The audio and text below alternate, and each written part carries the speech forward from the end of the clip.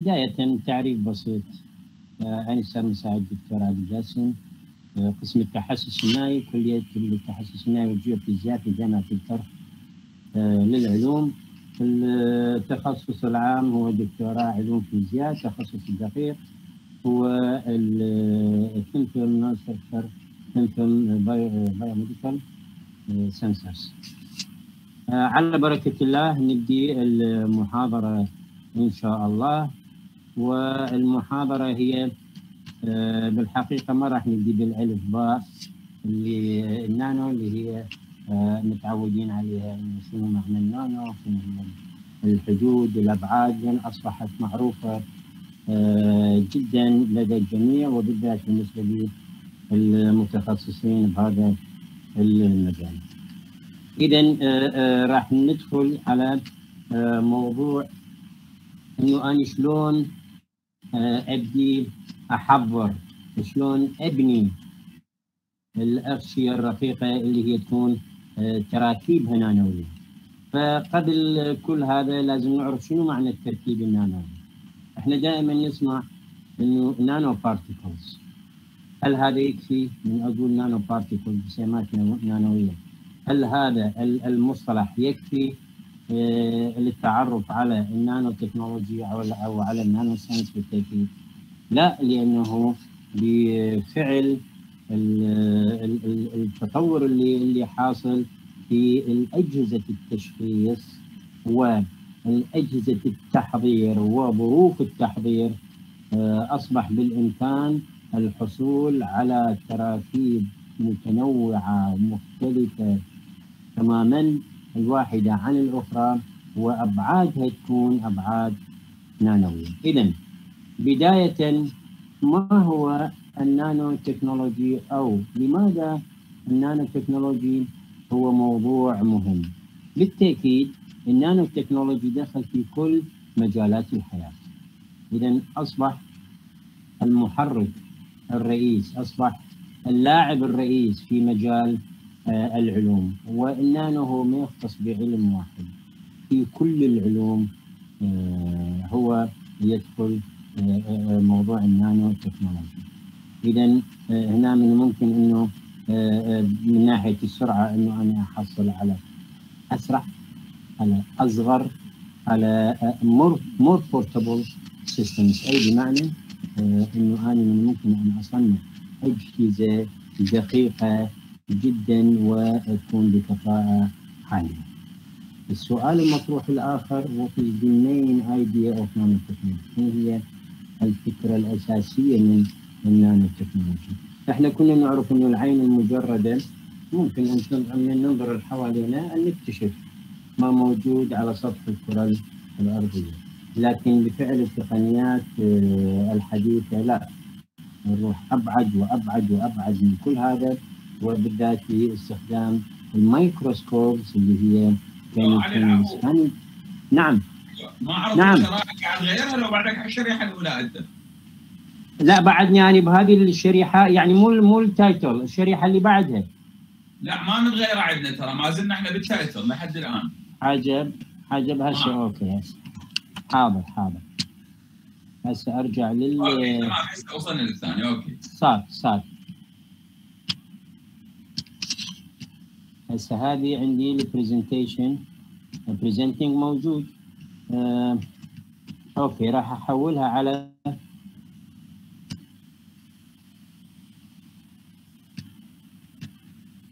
أسوي له stop وأرجع أسوي sharing من جديد آه. okay أها okay ما موجودة آه. لحظات لحظات عفوا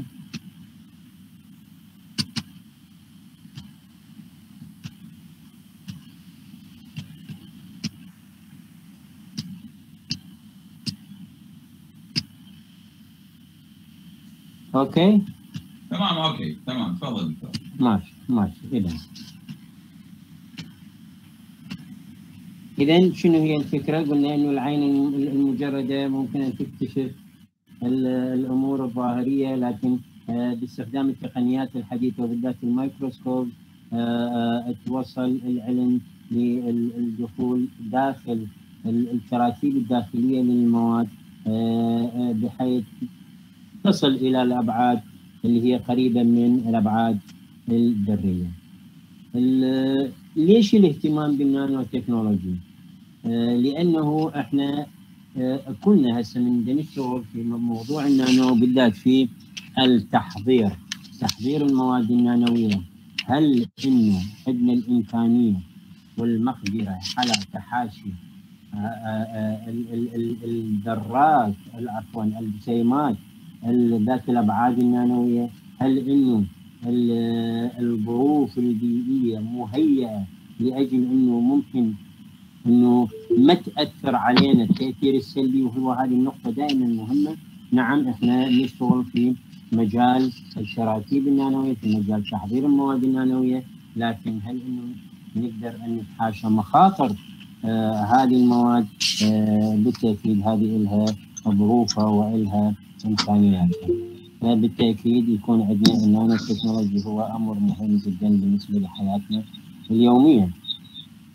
آه طبعا آه، إحنا آه، النانو تكنولوجي راح يوفر لنا مواد بخصائص و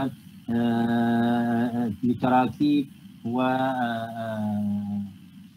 وامكانيات جديدة بحيث إنه ممكن أن تدخل في كافة مجالات الحياة النقطة الأساسية بالنسبة لعملنا وبالنسبة لي مجال المتحسسات كتطبيق مجال المتحسسات هو أني أحتاج إلى large surface area ليش؟ لأنه أحتاج إلى interaction أحتاج إلى تفاعل ما بين التأثيرات البيولوجية أو كان يكون عندي غازات كان يكون عندي chemicals كان يكون عندي viruses كان يكون عندي بكتيريا إذا كل ما تزداد احتمالية تفاعل هذا هذه الأحداث الخارجية مع مادة المتحسس اللي مصنعيها بالتأكيد راح تنطي response أعلى. أي بمعنى تحول الإشارة من إشارة كان يكون فيزيائية بيولوجية كيميائية إلى إشارة كهربائية. والإشارة الكهربائية تعني لي تشارج كارير تعني لي حاملات شحنة. كل ما تزداد احتمالية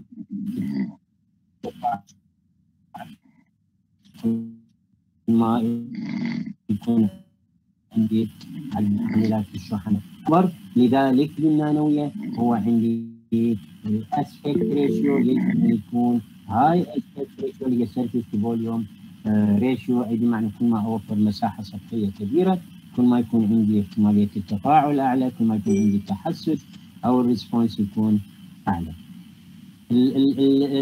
المسافات كل ما تكون أصغر أو أقل كل ما يكون عندي ال response time أعلى. و للعاملين في مجال المتحسسات والكواشف أكو عندنا نقطة أو نقطتين بالحقيقة مهمة جدا اللي هي حتى حتى هي أهم من التحسسية.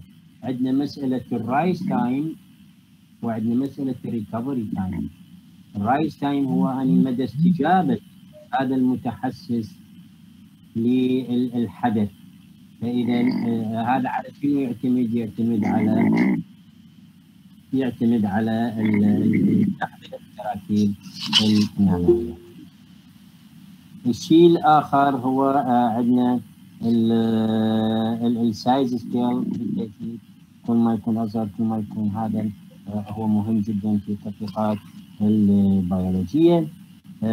أيضا عندنا النانو تكنولوجي وفر لنا تطوير وتحسين للخصائص اللي من ضمنها الخصائص التركيبيه، الخصائص البصرية، الكهربائية، الميكانيكية، المغناطيسية وكل الخصائص كل خصائص المواد وأعتقد هذه آه، تم التطرق لها في البرنامج التدريبي الأول.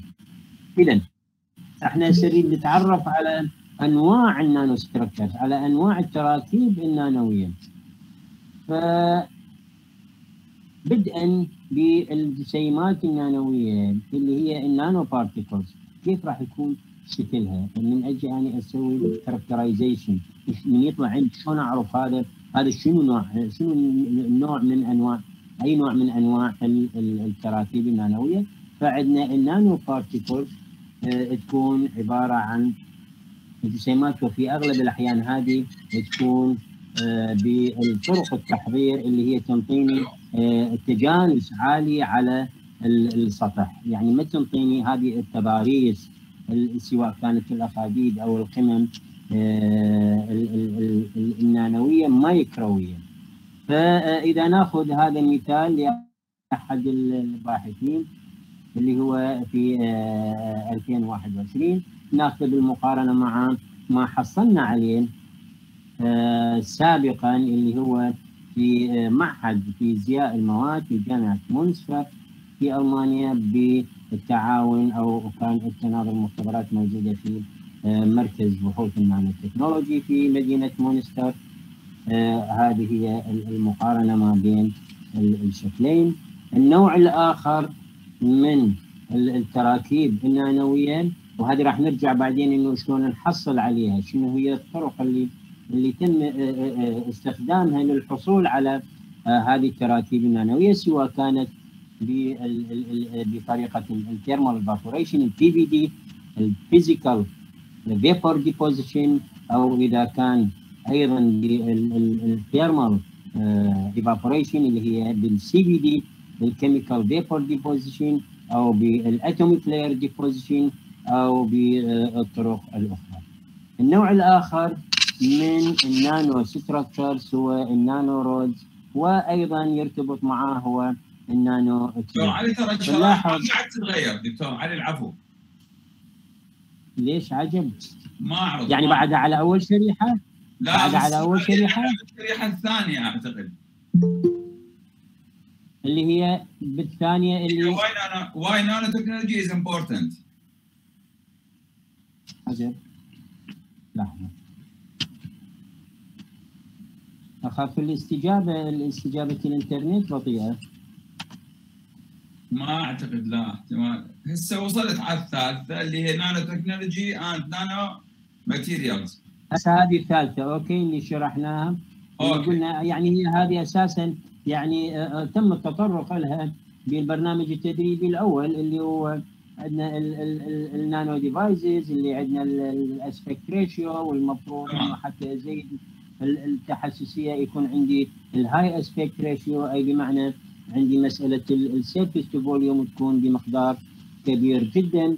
آه كل ما يكون عندي إذا افترضنا إذا افترضنا إني عندي tube من يكون عندي طول هذا ال tube فرضا 5 مايكرون على ال diameter لهذا ال tube أو ال rod اللي هو أقل من 100 نانو بالتاكيد راح تكون عندي نسبة كبيرة جدا. لذلك راح توفر لي مساحة سطحية آه كبيرة. التصغير المسافات للتأكيد يؤدي إلى responsibility عالية. أي بمعنى عندي مثل ما ذكرت إنه في المتحسس أو في الكاشف اللي احتاجه هو يكون عندي ال rise time إن زمن نهوض. هذه هذا المتحسس يكون صغير جدا أي بمعنى very fast أو fast لذلك الاستجابة من تكون على شكل pulses. فقبل أنه أن توصل أنه هذه ال pulse قبل أن تنتهي يكون المتحسس مستجيب لها وبعد ذلك من تنتهي أيضا آه، سرعة رجوع هذا المتحسس إلى الحالة الابتدائية. يجب أن يكون بزمن صغير آه، تحسبا لأي event آه، ثاني. إذا كان بطيء بالتأكيد من تجي ال event الثانية يكون بعد المتحسس أساسا ما نكمل استجابته للنرضى الأولى فهنا راح يكون عندنا آه، إشكال معين. ونفس الشيء قلنا عندنا يصير تحسين عندنا بالخصائص والخصائص الكهربائية الخصائص التركيبية. دكتور علاء ما أعرف هسه حولك على ال slide اللي بعده types of structures nanostructures ولا لا؟ اي حولت دكتور كمل. okay okay okay.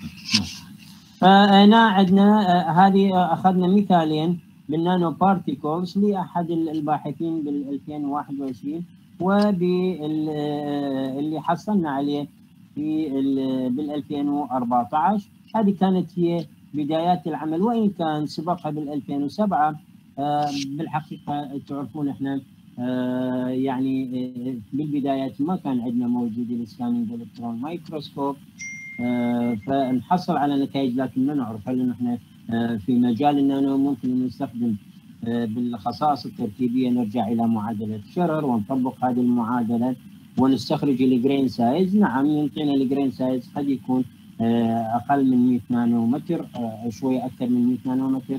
لكن كعملية تشخيصية هل إنه فعلا إحنا حصلنا على nanoparticles في وقتها؟ ما كان بالإمكان. لكن بعدين من خلال العمل سواء كان العمل خارج في جامعات في أوروبا وأمريكا أو في الوصول أجهزة ال scanning electron microscope أو ال atomic force microscope أو حتى ال transmission electron microscope بدأ التعرف على التحضير اللي اللي توصلنا له. الشيء الآخر اللي هو ال nanorods أو ال nanotubes مثل ما تلاحظون حضراتكم إحنا من نجي على ال scale bar اللي هو ال 300 نانومتر فنلاحظ إنه هذه ال diameters إذا كان tube أو إذا كان rod هو أقل بالتاكيد أقل بت... يعني بمقدار الثلث أو أقل من الثلث من هذا ال scale bar. النوع الآخر اللي هو ال nanofibers ودائما يكون مرتبط مع ال nanoneedles فال nanofibers تلاحظون إنه هنا متحقق ال high aspect ratio بالذات من بنلاحظ هذه ال fiber وطول ال fiber اللي هو يتجاوز ال 10 مايكرون أو أكثر بكثير من هذا المقدار قياسا إلى diameter لكل قطعة من هذه القطع اللي هي ال fiber هذا اللي بالتأكيد راح يكون عندي high aspect ratio لذلك هنا مثل هذه ال structures يكون مهم جدا في التطبيقات البيولوجية. والكيميائيه وأقصد بها كمتحسسات. اللي حصلنا عليه هو هذه ال nanoneedles. لو لاحظ هنا مقدار ال diameter لكل needle من هذه وطول هذا ال needle أيضا آه راح نشوف إنه متحقق عندنا ال high ratio آه وهذا ال scale bar اللي بالأسفل يعني ما واضح لكن هذا هو واحد مايكرون. هذا الطول هذا البار هو طوله واحد مايكرون. اذا من نجي ناخذ عينه من هذه العينات راح نلاحظ إنه طول طول هذه ال needle الوحدة قد تتجاوز العشرة والعشرين آه مايكرون اذا نسبة إلى قطر هذه ال needle أيضا راح يكون عندنا ال high aspect النوع الآخر هو ال nanoplates اللي هي تكون على شكل صفائح آه مساحة هذه الصفيحة آه تكون مساحة كبيرة لكن نجي إلى ال thickness آه يكون عندنا thickness صغير جدا. هذا بال 2011 لأحد الباحثين الجيا يو. أنا كل مصدر ماخذه فناطي ال DOI الرابط مالته حتى اللي يحب يرجع وبعدين من ناحية الأمانة العلمية يجب أن نشير إلى المصدر اللي ماخذين من عنده هذا الشكل. وبالمقارنة مع ما حصلنا عليه في معهد فيزياء المواد ال IMP في ألمانيا هذه هي عندنا ال plates أو الأقراص ممكن إن نسميها ال disk أيضا ال scale bar هذا واحد مايكرون بالحقيقة هذه اللي اللي اشتغلنا عليها في وقتها كانت بطريقة ال PVD اللي هي بال thermal evaporation deposition بمنظومه ادوارد راح نجي بعدين نشوف شنو ال sequence اللي اتبعناه في التحضير اللي هو إذا كان أنا عندي ال substrate هو زجاج أو إذا كان ال substrate سيليكون أو ايا كان نوع ال substrate الآخر مثل ما تعرفون هذه بالمناسبة هذه لماده ال zinc oxide ال zinc oxide دائما الأكاسيد بال thermal evaporation يكون صعب صعب جدا تحضيرها ليش؟ لأنه تحتاج لدرجة حرارة تبخيرها جدا عالية لذلك تحتاج إلى current density عالي ما متوفر أو يكون صعب جدا لذلك شو نسوي؟ نرسب ال metal نفسه نرسب الزنك ومن ثم بعدين نسوي له اكسده آه، هنا ترسيب ال- ال- الزنك كان بظروف مختلفة. آه، من ناحية ال thickness من ناحية هل إنه أنا أحتاج إلى طبقة حتى أزيد التصاقية آه، هذا الغشاء مع السبستريت؟ نعم. هنا مسألة الالتصاقية مسألة مهمة جدا. لذلك نحتاج إلى أن نرسب طبقا. دور المنظومة مهم جدا. المنظومة من تكون آه، بتقنية عالية أي بمعنى من أقول تقنية عالية ك PVD أحتاج إلى آه، نقطة أساسية إلى مسألة جدا مهمة وهي ال thickness monitor. يعني إذا تسمحوا لي في أغلب مختبراتنا اللي شفناها في جامعاتنا أو في مؤسساتنا العلمية آه، مسألة ال thickness monitor ملغية. الاعتماد على جانب الخبرة النظرية. يعني أنا اليوم آه، آه، أريد أرسب آه، مادة معينة. طبعا المفروض أني أرجع إلى جداول تنطيني قد ال current density اللي أحتاجه. آه، اللي دا يصير عندنا إنه ال boat اني خا- خالة وابدي امرر به تيار كهربائي. ال boat بالأسفل وال substrate بالأعلى. فمن يصير التبخير بالتأكيد وين راح يت- تتوجه ال- البخار هذا بخار الماده راح يتوجه إلى الأعلى ويبدي آه، يترسب على ال substrate. ال- لكن مسألة الدقة مسألة الحصول على التراكيب النانوية هنا تكون هذه المسألة قاتلة جدا. ليش؟ لأنه عندنا آه، العاملين آه، يبدي يزيد ال current إلى أن نظريا يباوع صار احمرار بدأ يتوهج ال boat آه، يبدي يحسب وقت أما خمس ثواني أما عشر ثواني أقل أكثر خلص من خلال التجربة من خلال الخبرة. okay خمس ثواني انطته آه، بمقدار معين من السمك عشر ثواني انطت مقدار معين آخر لكن هل إنه حصل على تركيب نانوي؟ بالتأكيد هنا المسألة الحصول على التراكيب النانويه تكون احتماليتها ضعيفة جدا وراح نجي نشوف ليش. ال- ال nano flowers أيضا ممكن إنه أنه نحصلها بطرق التحضير هذه أيضا آه، على الجانب الأيمن آه، بطريقة ال PVD حصلنا على آه، ال flower لترسيب الزنك ومن ثم عملية ال oxidation لهذا الغشاء.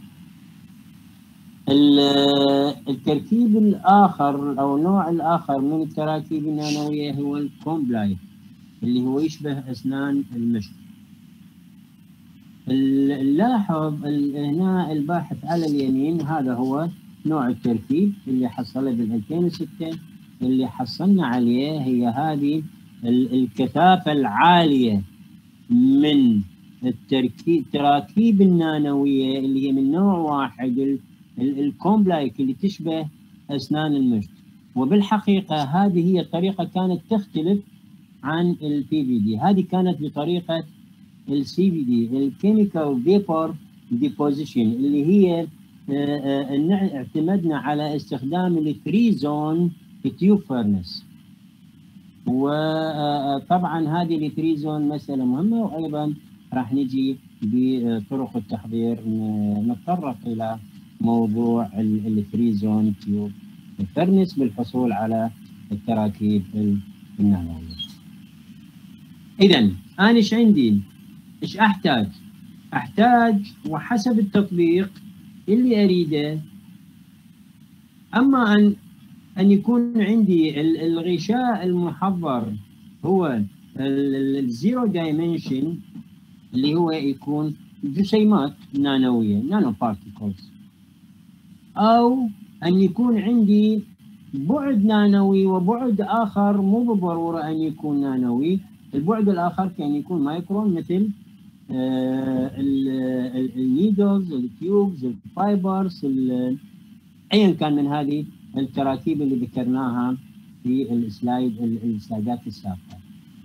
أو أن يكون عندي ال two dimensions اللي هو البليتس الديسكس الفلاورز والفلاكس الفلاكس العفو وغيرها ال 3D ال 3 dimension nano structures هنا راح يدخل في تقنية أخرى. إحنا هسه اللي الأمثلة اللي ذكرناها وهذه الصور ال scanning electron microscope كلها كانت عشوائية. يعني مجرد إنه أنا أحصل على على على على fibers على rods على tubes على needles ايا كان. لكن ما مرتبة. اذا من يكون عندي ال 3 dimensions 3 dimension نانوي أو حتى 2 dimension نانوي إيش أحتاج؟ أحتاج إنه ابدي أرتبها على ال substrate خلاص يعني مسألة إنه هي هي تكون مبعثرة على ال substrate هذه كانت بدايات العمل لكن بعض الأحيان أني إيش عندي؟ عندي size صغير والمفروض إنه أجي أرتب ال structure بحيث ينطيني مساحة سطحية هائلة. هنا هذه التقنية تقنية ال mask اللي هي أني آه أني ألجأ إلى إلى تصنيع mask معين. زين هذا ال mask من الممكن إنه أني من أرسب على هذا ال mask المادة اللي أحتاجها وبالذات لأجل أن أحضر المتحسس بعدها ممكن أن أزيل ال mask. فأكو تقنية اسمها ال ultra thin alumina membrane. هذه شنو معناها؟ يصنع ال mask من ال alumina. أما أنه أني أسوي أخاديد وأبدي أرسب المادة داخل هذه الأخاديد أخاديد مثلثة أخاديد على شكل روز ايا كان شكل هذه الأخاديد لكن القطر هذه الأخاديد أو أبعادها الداخلية يجب انه ما تتجاوز ال 100 نانومتر. زين بأي طريقة أني من الممكن أجري عملية الترسيب بحيث ما تنسد هذه الأخاديد؟ لا أني أحصل فقط على على الشكل اللي أريده. وبالذات إذا كان المطلوب أني أريد fibers آه آه نعم fibers أو tubes أنا شلون أقدر احصل على tube hollow يكون يكون مجوف من الداخل وقطره قطره ما يتجاوز ال 100 نانومتر شلون أقدر ادخل ذرات الماده داخل هذا ال mask بحيث ما تسد لي فوهه ال mask لأن اذا سدتها ما حصلت على ال tube اذا اي طريقه إذا ليش أقول أقول ارجع واقول انه طريقه ال PVD النظريه مو اللي تعتمد على على ال thickness monitor من المستحيل من المستحيل أن أستخدم آه هذا ال mask أو هذه التقنية للحصول على ال array مثل ما تلاحظون هذا ال ال الشكل الموجود على اليمين.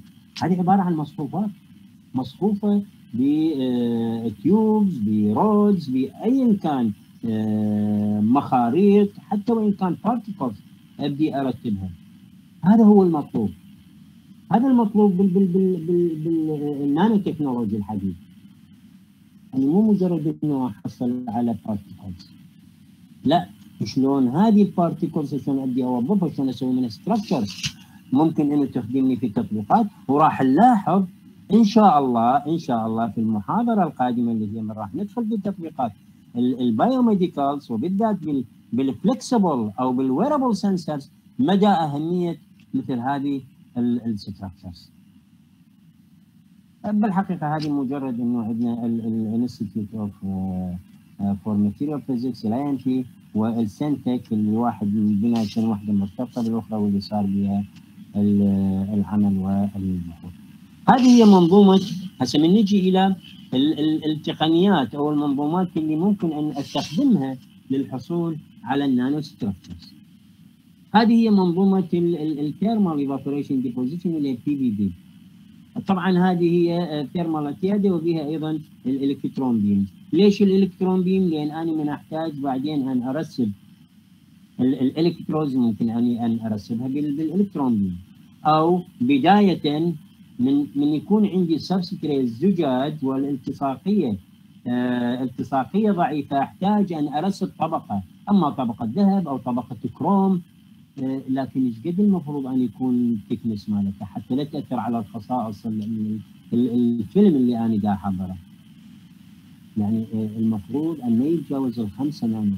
بأي بأي thermal موجودة عندنا أنا من الممكن أن ارسب آه طبقة بسمك 3 نانومتر.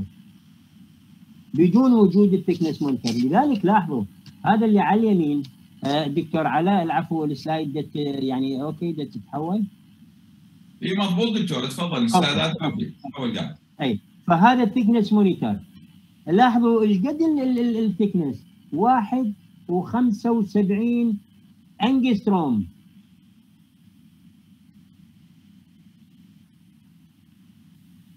okay. إيش قد ال deposition rate؟ ثلاثة وثلاثة من عشرة انجستروم بالثانية. يعني شوفوا التقنية. طبعا هذا ال thickness monitor ب crystal وهذه الكريستال حتى ما تتلف المفروض تصير عملية التبريد وعملية التبريد لهذه المنظومة تكون بال liquid nitrogen. إذا أنا المفروض من من من من أسوي مثل هيك مختبر وأجيب مثل هيك منظومة لازم بدءا أخلي بالي شلون أوفر ال liquid nitrogen ويكون قريب. يعني مو المختبر اليوم أنا المختبر موجود في جامعة الكرخ والليكويد نيتروجين موجود في مصنع خارج بغداد. ومو يعني مو دائما أنا أقدر أروح أجيب لا لا. يعني الجامعات ومراكز البحوث تكون دائما أكو خزانات موجودة قريبة من في قريبة من البناية. مباشرة الواحد الباحث يروح يملي ال liquid nitrogen ويجي من يريد يجري عمليه ال deposition يخليها بالمنظومه. هذه مهمة جدا. حتى أحصل على على على دقة عالية حتى أحصل على ال structure اللي احتاجه نعم يجب أن يكون إحنا لأنه طبعا المنظومات اللي كانت تجهز لمختبراتنا موجودة بها ال thickness monitor لكن بالاستخدام هذه دائما الكريستال تتلف فلانه ما موجود البديل ينتهي العدد ال spare part اللي موجوده فشو يصير؟ هذه هذا الجزء من المنظومة هذا ال accessory يلغي فراح نرجع إلى مسألة الخبره. هذا هو ال boat اللي يكون بداخل هذه ال chamber آه ويكون تحكم بال current density لأنه عندنا current density مهم جدا ومن المشاكل اللي دائما تأثر على عملية ال deposition على عملية الترسيب هنا هو مسألة ال loose اللي يصير من أجي يعني اخلي ال boat والمفروض آه أن يثبت بإحكام لأنه أي أي أي فراغ بسيط آه ما مضبوط بإحكام إيش راح يصير عندي؟ راح يصير عندي ارك ديسشارج في هذه المنطقة ويسبب لسريان تيار عالي جدا بدون الوصول إلى درجة حرارة التبخير. فهذه من المشاكل اللي آه الموجودة في أثناء العمل مع منظومات ال thermal evaporation. فهنا بالحقيقة هذه هي نماذج من ال mask اللي استخدمت في تحضير ال thin films مع ال electrodes وأيضا mask لل built-in heater. هذه بالحقيقة اللي تصنيع المتحسس. سواء كان single single thin film single sensor أو إذا كان quadra لأنه اني من الممكن إنه أرسب أكثر من مادة.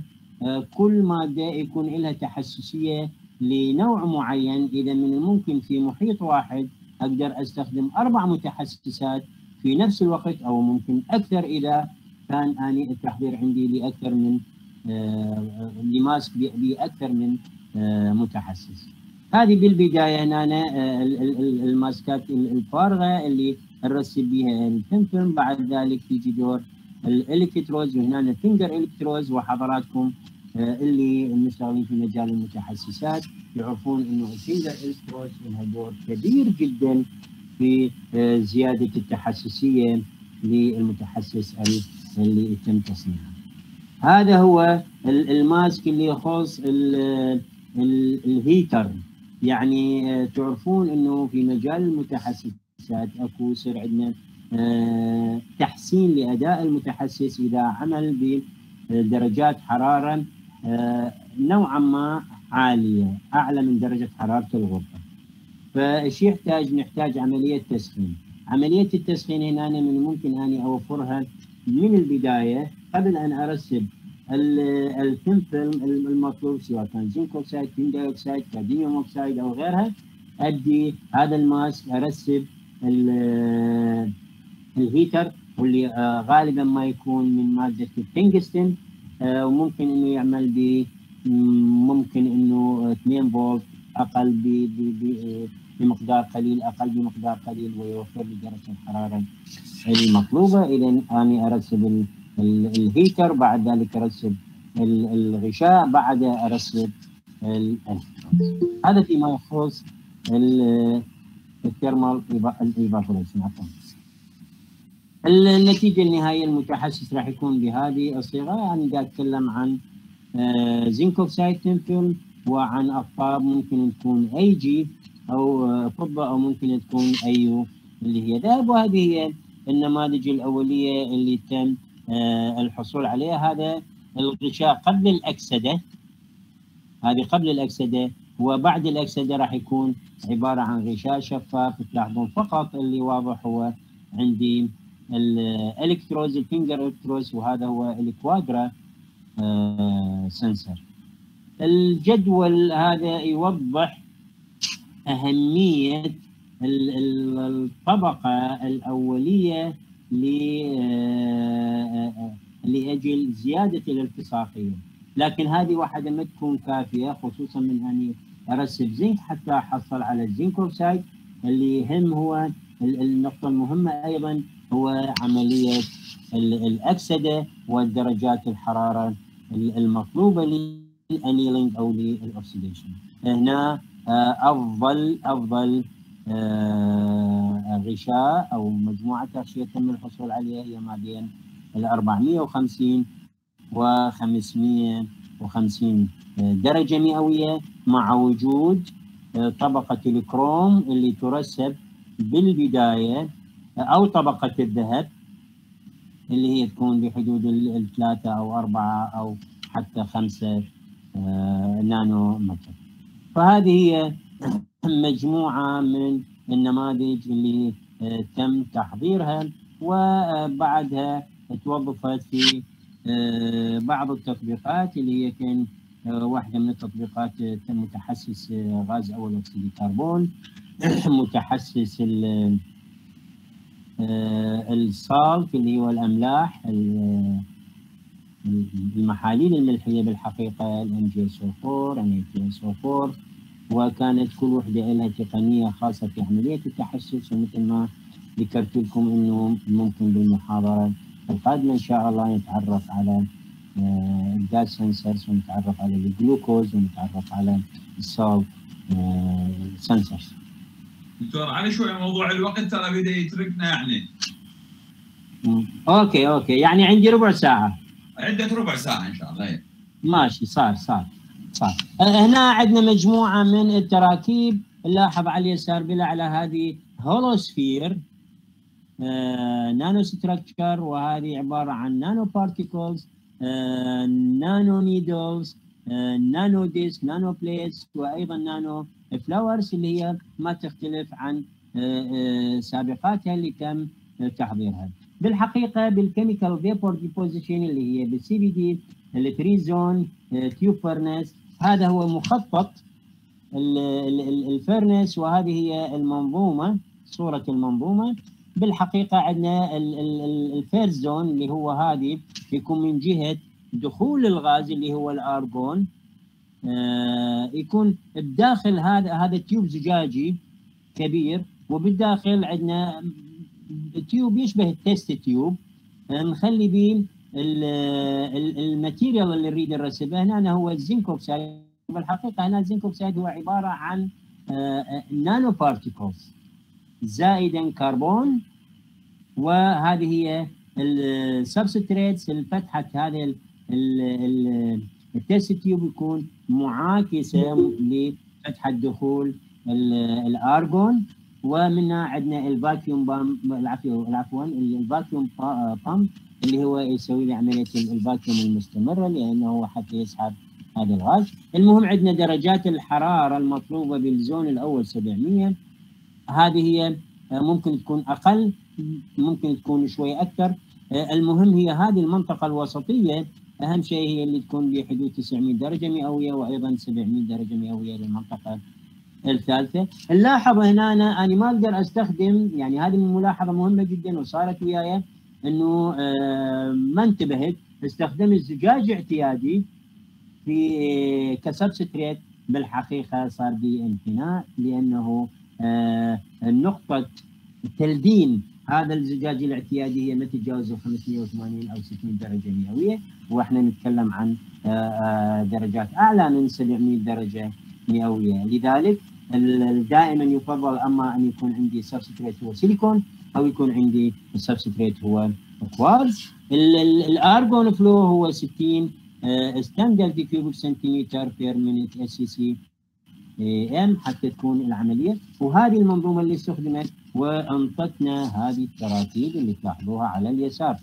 يعني لاحظوا آه الدقة العالية والكثافة العالية بالإضافة إلى ال structure الواضح جدا اللي هو ال nano comb like structure أعتقد إحنا في جامعاتنا وفي مراكزنا البحثية موجود ما أعرف اني ال three zone موجود أو لا لكن على الأقل ال two zone موجود.